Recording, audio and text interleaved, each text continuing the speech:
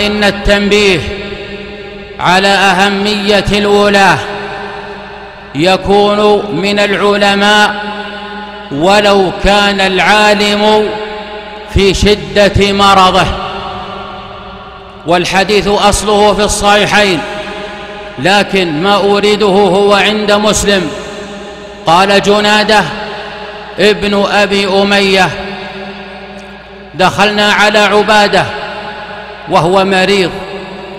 فقلنا حدثنا أصلحك الله بشيء ننتفع به مما سمعته من النبي صلى الله عليه وآله وسلم. فقال انظر كيف اختار لهم وهو في شدة المرض. قال دعانا رسول الله صلى الله عليه وآله وسلم فبايعناه على المنشط والمكره وعلى اثره علينا والا ننازع الأمر أهله إلا أن تروا كفرا بواحا عندكم فيه من الله برهان.